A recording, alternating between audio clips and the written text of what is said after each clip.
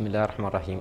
تؤكد بلدية مدينة الشارقة استعدادها لموسم الأمطار وذلك بعد أخذ جميع الإجراءات الاستباقية ووضع الخطط الممنهجة لموسم الأمطار بالتنسيق مع الجهات الحكومية ذات الاختصاص.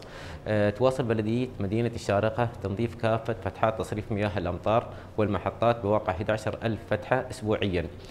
أه، وتوفير المضخات في المناطق التي توفر بها خدمة بالإضافة إلى الصهاريج. يتم ذلك من خلال إشراف مباشر من سعادة مدير عام البلدية ثابت سالم الطريفي رئيس لجنة طوارئ الأمطار. تتمنى بلدية مدينة الشارقة شتاء آمن لجميع زوارها وسكان المدينة.